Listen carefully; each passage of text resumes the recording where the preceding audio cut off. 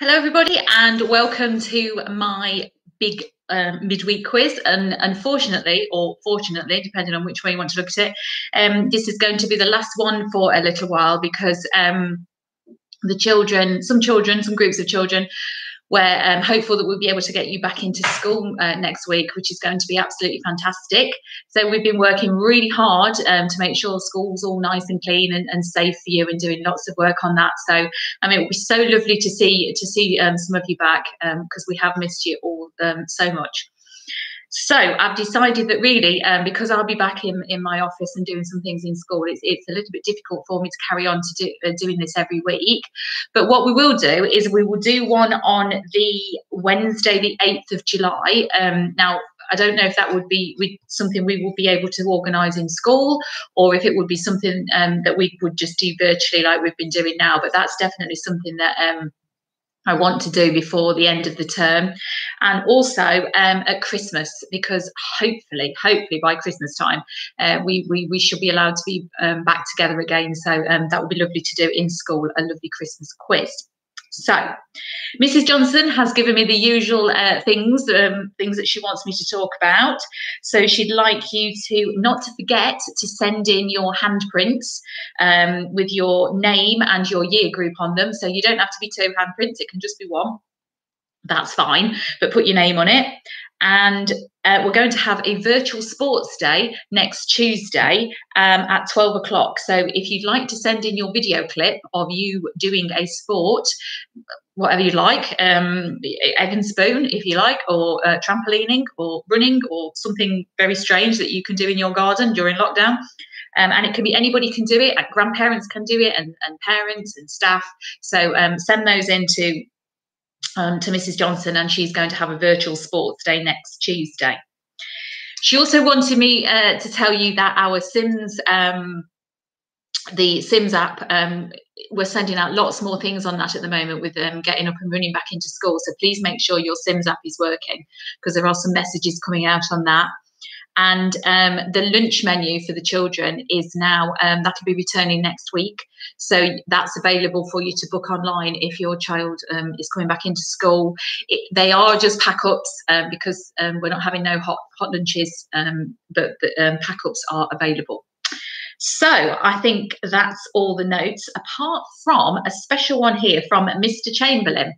So, Mr. Chamberlain, who's uh, one of our governors as well, um, he has told us that if we look up into the sky tonight um, towards the southwest at about 10 to 10, so it might be quite late for some of you, but we should be able to see the, the SpaceX rocket, which is carrying the um, astronauts up to the International Space Station. So that'd be quite exciting because if I'm looking out my uh, my uh, doors now into the garden, I can see it's a very clear night. Um, so hopefully we'll be able to see that. Okay then. So our final our final quiz, and don't forget the lovely, lovely prize that there is, the cup that will be engraved forever with your name on it, should you be the winners. Um, so we will get that organised for you. So we've got five rounds as usual. The first one is um, our Olympic round. Now, there are 15 points on offer in that one because um, there's a very tricky one for six points. Then we've got a round on fashion. I know. Uh, the the pictures is the famous baby pictures round, and then we've got books and authors, and then we've got our usual um, general knowledge round. Okay, so here we go with the Olympic round because it should have been Olympic year, shouldn't it? But um, unfortunately, it's not. So, question number one. Which country's team walks out first at the opening ceremony of the Olympic Games? So if you see the um, opening ceremony, all the teams from all the different countries come out. Which team walks out first?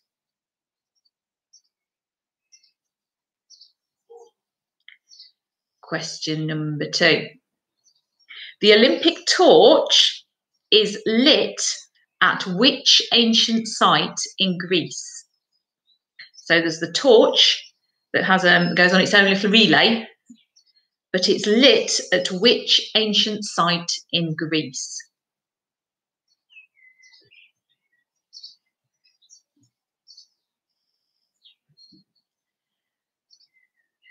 Okay. Question number three. Which is the only city to have held the Summer Olympic Games on three occasions? So there's one city and it's held the uh, Summer Olympics on three different occasions.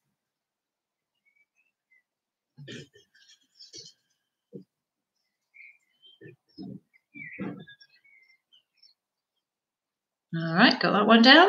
Question number four.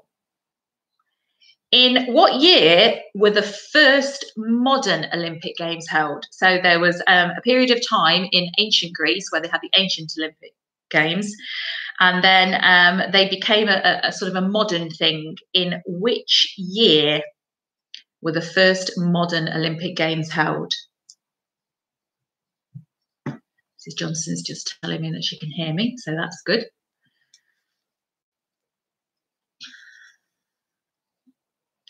Question number five. What is the length of an Olympic sized swimming pool? So if you were in an Olympic pool, longer than the one at uh, Whitwick, how long in meters would that uh, pool be?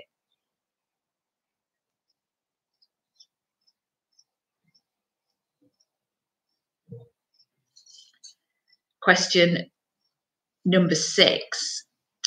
Right, so which of the following was introduced into the Olympic Games before the other two? So, was it the Olympic flame, the podium for medal winners, or electrical timing equipment? So, one of those was introduced before the other two. Was it the Olympic flame, the podium for medal winners, or electrical timing equipment.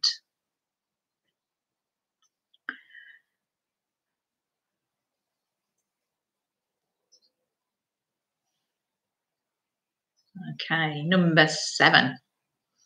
So this is going back to the Winter Olympics. So in 1988, the Winter Olympics took place in Calgary. And um, there was a great British ski jumper who took part in these games. Quite surprising when you think about it, when you're in Great Britain and you're going to be a ski jumper. So, what was his name? He had a nickname. So, what was the nickname of the GB ski jumper who took part in the 1988 Winter Games in Calgary?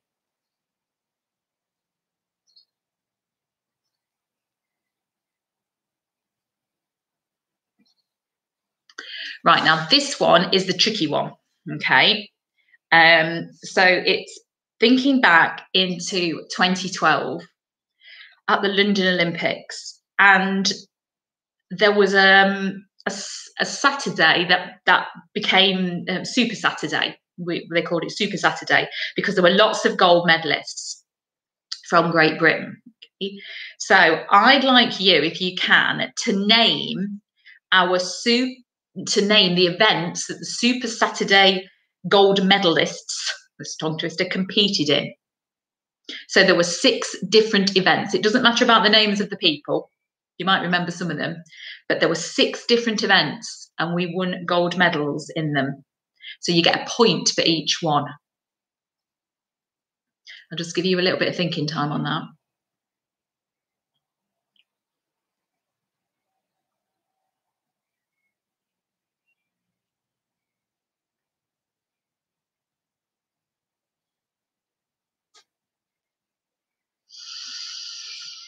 Six different events.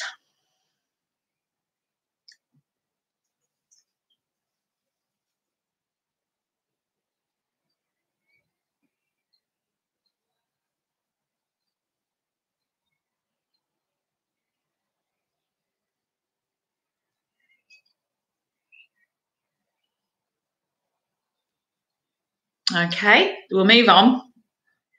So, number nine, Torvill and Dean ice dance to victory in 1984 um, in Sarajevo in the Winter Olympics. To which piece of music? So, what was the piece of music called that they um, when they won their gold medal. They wore those beautiful purple um, outfits, if you can remember. I am sadly old enough to remember that. Some of you clearly won't be.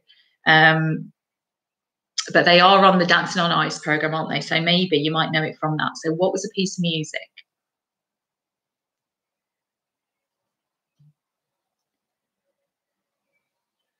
And number 10, in the ancient Olympic Games, so way, way back, a category of people um, were refused to attend or watch the games.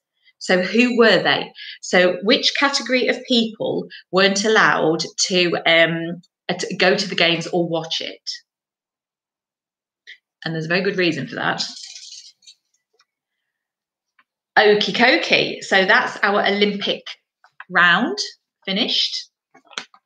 Those tricky questions about the events. And we are going to move on to our fashion round love a bit of fashion.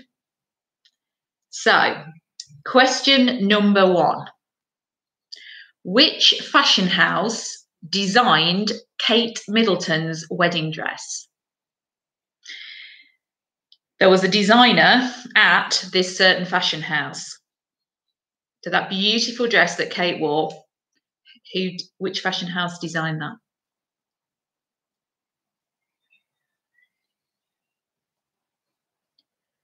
Okay. Question two. Red soled shoes are the signature of which fashion designer? So this designer has a signature of putting red soles on the bottom of the shoes that they design.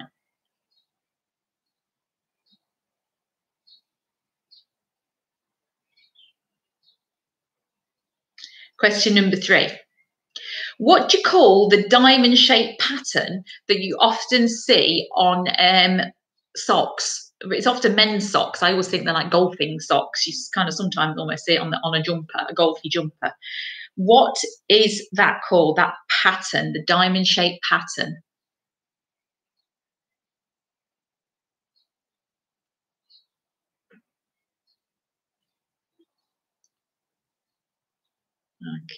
Number four. In the 1990, 1990s, which supermodel famously fell over on the catwalk while she was wearing a pair of Vivienne Westwood shoes?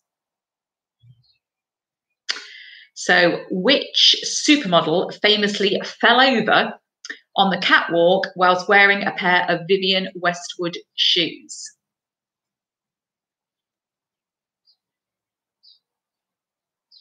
Again, being old, I can remember that.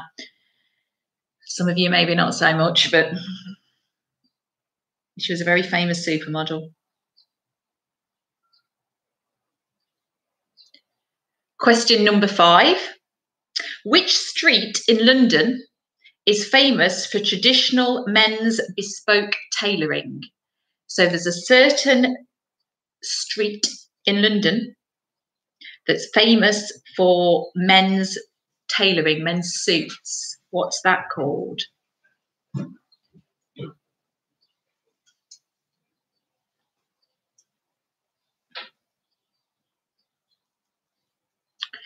Right, question number six for our younger participants.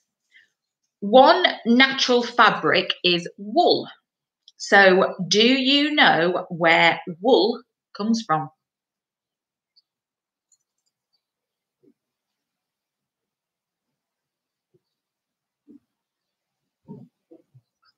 Question number seven. The four, there's lots of tongue twisters in this round. The four fashion capitals of the 20th century were considered to be Paris, London, New York, and which other missing city? So four fashion capitals. The wind's getting up, it's blowing my uh, all the leaves across my garden. It's Paris, London, New York, and somewhere else. Where would that be?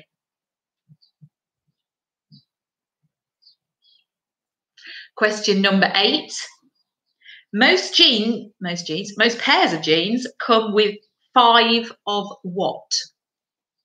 So most, most pairs of genes that you get come with five of what?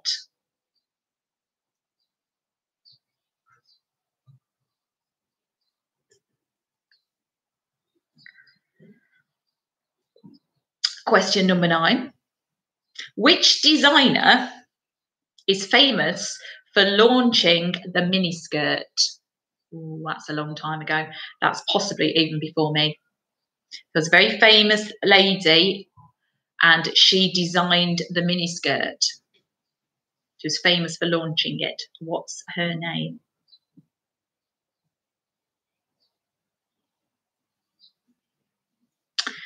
And question number 10, the last one in this round.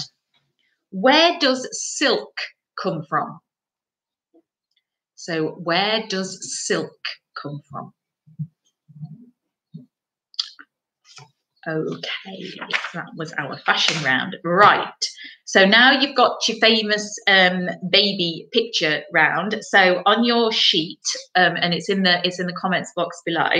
Um, there are ten pictures some of them are more obvious than others, I think, because some look, they, some people just look exactly as they did uh, now and then, uh, and some people just look as if you can't tell who they are. So I'll just give you a few minutes on that if you've not if you've not had a look yet. So see if you can write down your um, get the baby pictures. So if Mrs. Johnson can tell me maybe when she's had a look at hers, and then I will know when it's time to move on to the next round.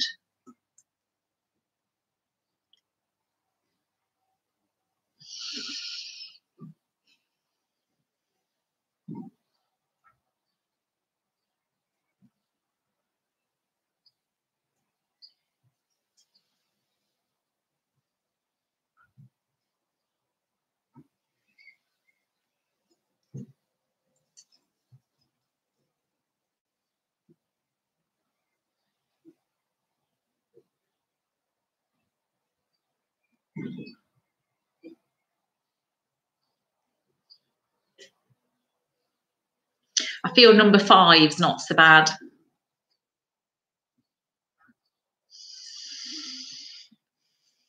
Or number eight.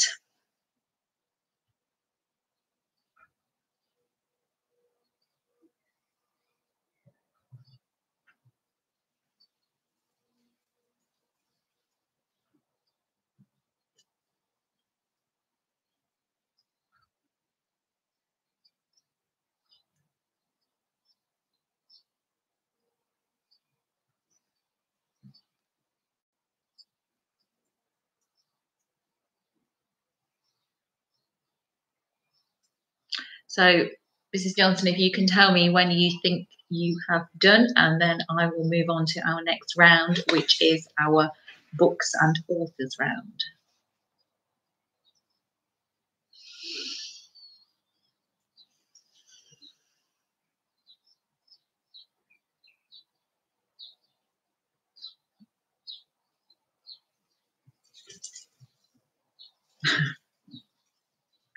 Mrs. Johnson's not sure about one. She's probably having a little bit of um, a debate in her house because I think there's often a debate in the Johnson household. And Mrs. Johnson says one thing and they all go with her, and then it's wrong, and then Mrs. Johnson gets told.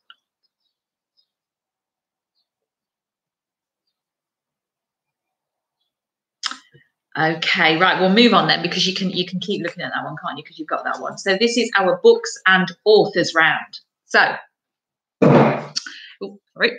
Which, question number one, which book series uh, first began with the books The Terrible Tudors and The Awful Egyptians? So it was a series of books for children, and um, it started with The Terrible Tudors and The Awful Egyptians.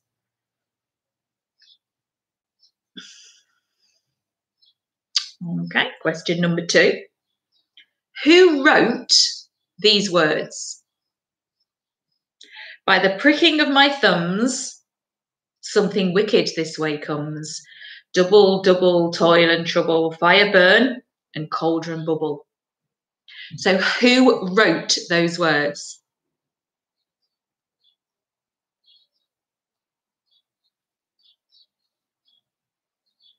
By the pricking of my thumbs, something wicked this way comes. Double, double, toil and trouble, fire burn and cauldron bubble.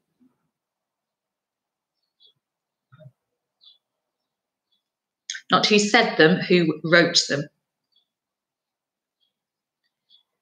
Question number three. What happens to Pinocchio's nose when he tells a lie? What happens to Pinocchio's nose when he tells a lie?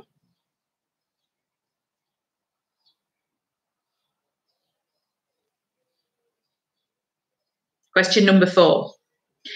In which children's book does Mildred Hubble go to Miss Cackle's Academy for Witches? So, in which book does Mildred Hubble go to Miss Cackle's Academy for Witches?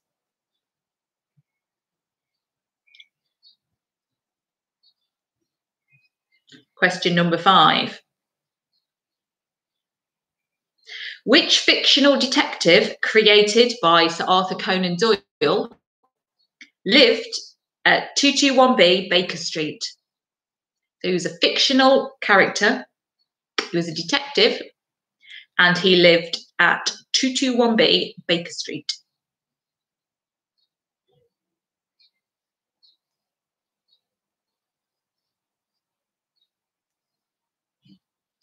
Right, this is especially for Mr. Skinner, but I've got a feeling he's going to know this one. It's a Dis- about a Dis- Disney movie, but don't panic. Which popular Disney movie featuring a practically perfect nanny was originally a novel written by P.L. Travers? So, which popular Disney movie featuring a practically a practically perfect nanny was originally a novel written by P.L. Travers.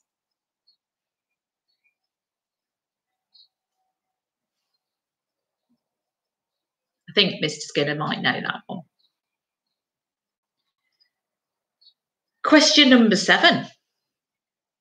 What is the name of the rat in Charlotte's Web? Ooh, tricky. What is the name of the rat in Charlotte's Web?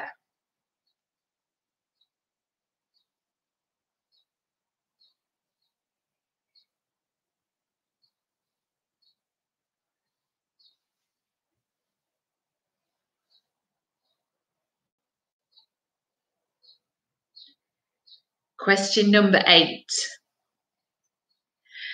Until he was four years old, James Henry Trotter had a happy life. These are the opening lines of which book? Until he was four years old, James Henry Trotter had a happy life.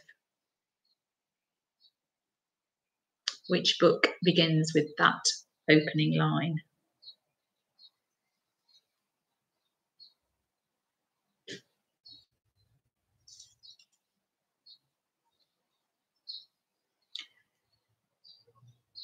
All right, question number nine.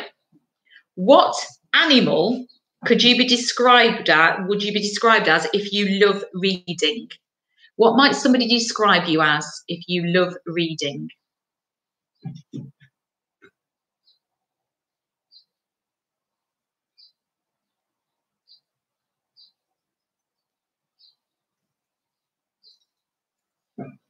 And the last one in our books and authors round what sort of business happened at Gringotts? So if you went to Gringotts, what sort of business would you be going into?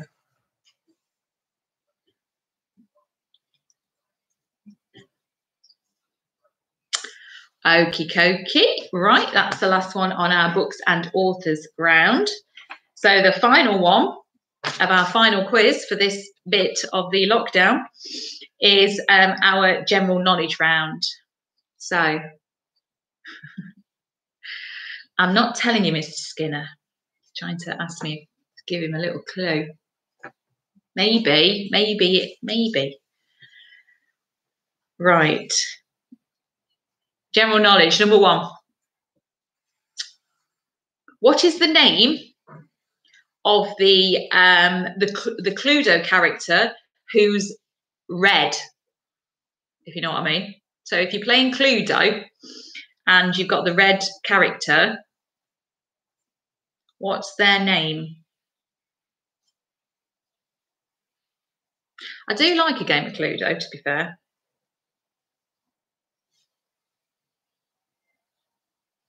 Question number two. Which of Snow White's seven dwarves didn't have a beard? So, which of Snow White's seven dwarves didn't have a beard?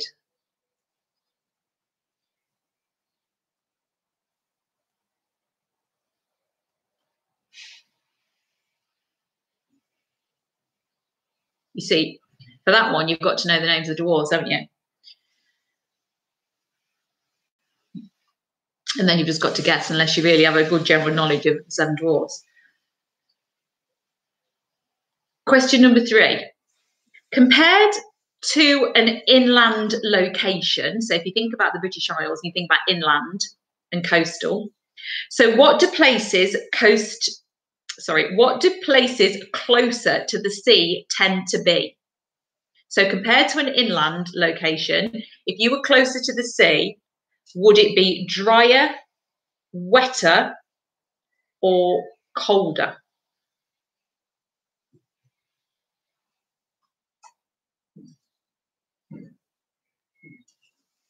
So, compared to inland lo locations, what do places closer to the sea tend to be? Drier, wetter, or colder?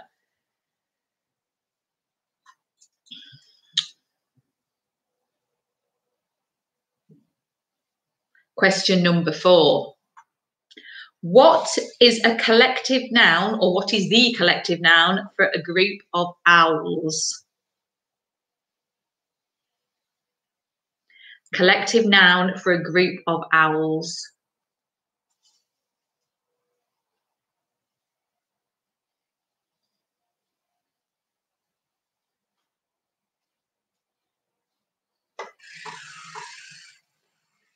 Question number five. Stephenson's rocket was an early example of which means of transportation? So Stevenson built a rocket and it was an early example of which means of transportation?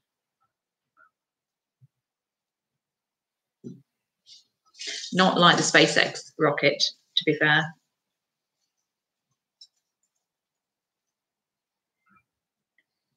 Question number six. Now, if my dad's doing this quizzy, I'm sure he will know this one. Where did the Bevin boys work? So, Bevin boys, where did they work? They were around in the Second World War. What did they do, Bevin boys?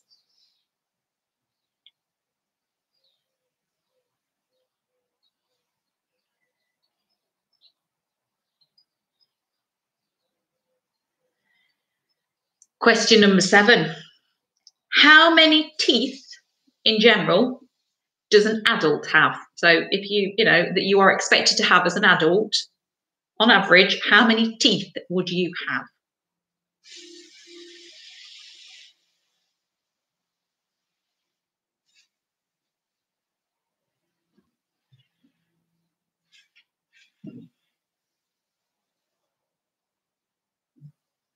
Question number eight. What are baby guinea pigs called? Apart from cute, obviously, and fluffy. Oh, or maybe they're not fluffy. Maybe I can't, I don't know. But what the, what would you call them? A baby guinea pig.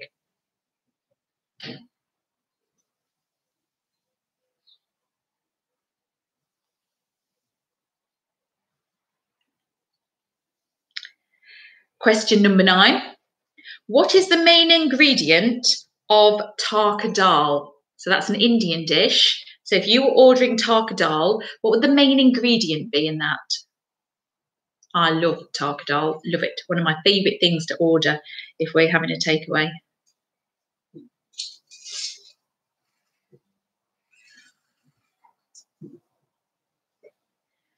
And the last one, uh, question number 10 what is um, what's the word for the fear of heights? So if you have a fear of heights, what would that word be? Okay, so that concludes our rounds in this uh, this quiz. So we can go through. So remember, we have this amazing trophy on offer. Um, and I think Mrs. Johnson said some people have been having another go at some of the rounds because a few people had missed weeks. So everybody's everybody's trying to everybody's trying to win it. It's it's just true. So um, we'll go through. So don't forget if you want to, um, if you've been playing for, for these, I think this is week nine. Um, so send your scores in to Mrs. Johnson, and she'll be able to put them all together and then see a big reveal who um, is the winning team, and we will get that trophy um, um, with your name put onto it and then um, we will just work out how we're actually going to get that trophy to you. I'm sure we'll manage that. That, that will be fine. So go back over the answers. So number one was our Olympic round. So which country's team walks out? Well, that's uh, Greece. Come out first. And the Olympic torch is um, is lit in, um, at Olympia, the ancient site Olympia.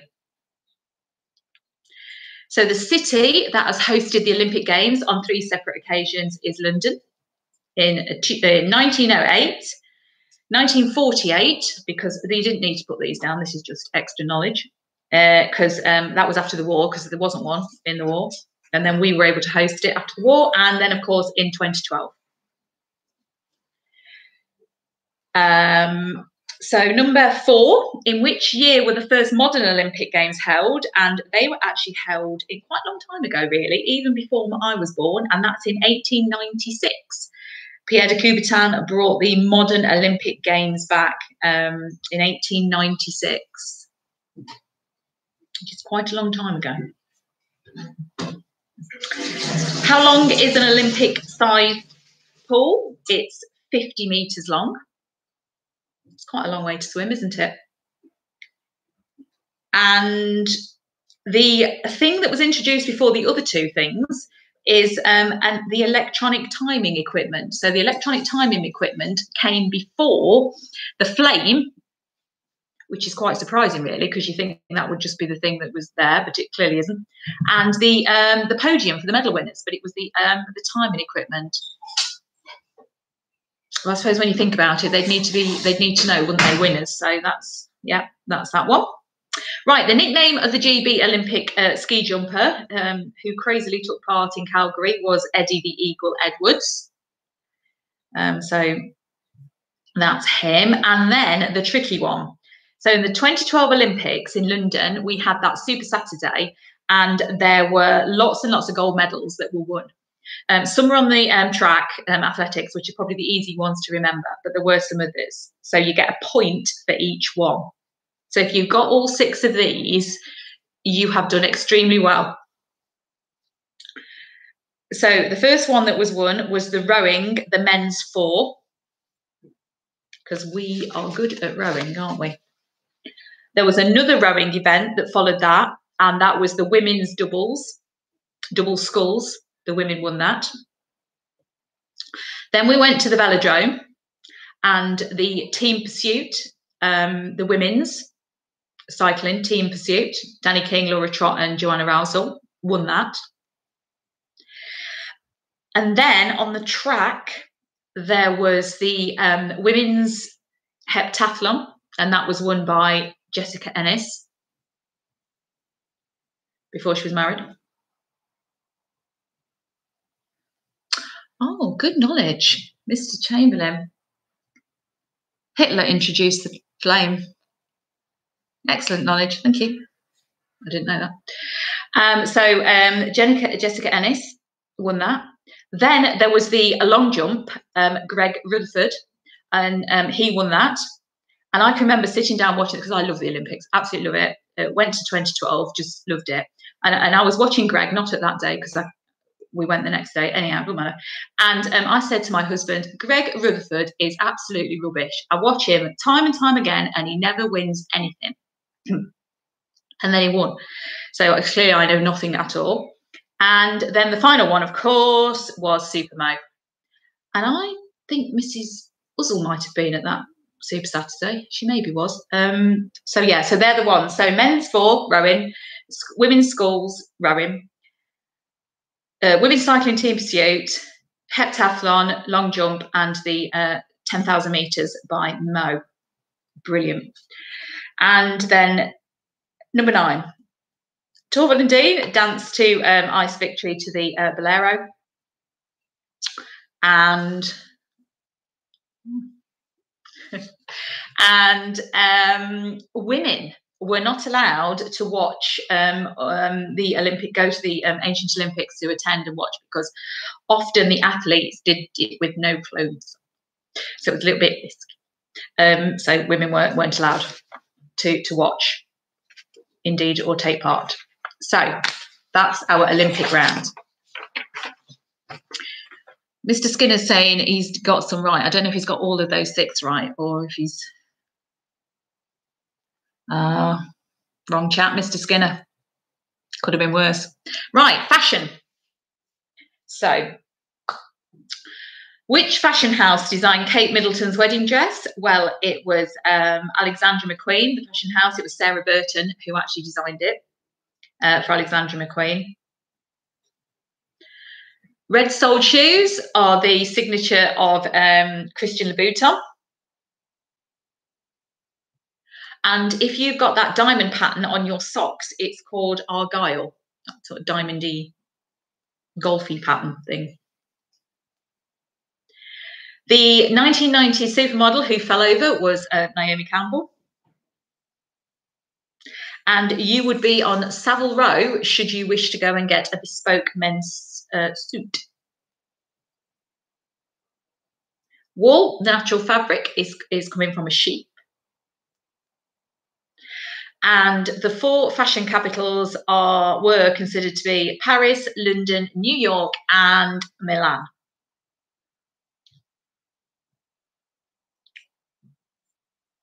Most jeans come with five pockets. And the lady who was famous for launching the miniskirt was Mary Quant.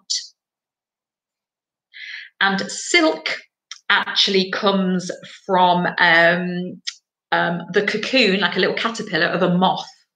We often say it's a silkworm, don't we? But it's actually um, a little um, caterpillar thing um, it, when it's in a cocoon, and it will it will um, um, grow into a moth, change into a moth. Okay, so that's our fashion round, and then we've got the famous baby picture round. Okay, so number one is Boris Johnson. And that picture was shown uh, a few weeks ago when his little baby was born. They were comparing his baby to, to him. Number two is um, our Queen, Queen Elizabeth II. Number three is uh, Martin Luther King Jr.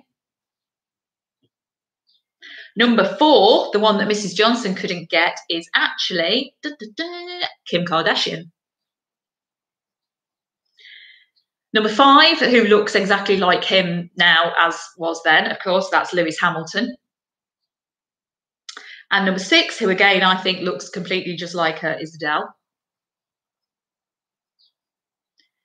Number seven, Cheeky Chappie, is actually um, Robbie Williams. Number eight, again, it looks completely the same now, um, is Richard Hammond. Number nine is Harry Styles. And the final one on that round, um, cutie, that is actually Holly Willoughby. Okay, so that's our famous picture round. I think number four was quite tricky, wasn't it? I, I found that one tricky. And I knew. Right, number four, books and authors lots of children's books on this one. So, number one, which book series first began with the books, The Terrible Tudors, and, and they were, of course, the Horrible History series, which we all love. Number two, The Pricking of My Thumbs, Something Wicked This Way Comes, and the rest of it was actually, of course, written by William Shakespeare in his um, Macbeth play with witches. Right, what happens to Pinocchio's nose? If he tells a lie, it, of course, gets grows longer. And um, Mildred Hubble went to Miss Cackle's Academy for Witches in the book um, um, The Worst Witch. There's lots of people messaging me tonight. It's sorry, it's very distracting. They've just lost all kind of decorum in the last quiz. Right. Number five. The fictional character was, of course, um, Sherlock Holmes, lived at 221B Baker Street. And the Disney um, practically perfect nanny was, of course, Mary Poppins. Right. Well, Mrs. J- Johnson's telling me that Charlotte Web was her favourite, so maybe she got this right. And the rat was actually called Templeton. Until he was four years old, James Henry Trotter had a happy life. And then, of course, his parents got um, eaten by a rhinoceros, and he ended up with uh, Sponge and Spiker in James and the Giant Peach. That was that book, James and the Giant Peach. And if you um, love reading, you're often described as a bookworm. And the business um, that you would do at Gringotts, you would, um, it's a bank, it's a wizarding bank from Harry Potter. Gringotts. Right, and on to our final round then. General knowledge. So the red uh, character in the Cluedo is called Miss Scarlet. And the only dwarf who doesn't have a beard is Dopey. Places closer to the sea are wetter. And a collective noun for a group of owls is a parliament, because maybe they are wise.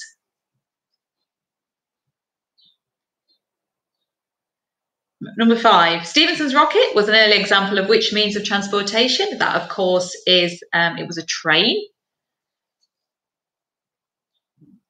And Bevin Boys, they were um, they worked down coal mines, and probably there will be Bevin Boys around our area because obviously there's lots of mining um, around, aren't there, where we live. So um, it was introduced by the War Minister, Ernest Bevin, um, and they worked down the mines the coal mines. How many teeth does an adult have? 32 teeth. If they all come through out the back, your wisdom teeth. And guinea pigs are called, baby guinea, baby guinea pigs are called pups. The main ingredient of tarka dal are um, lentils, yummy, yummy.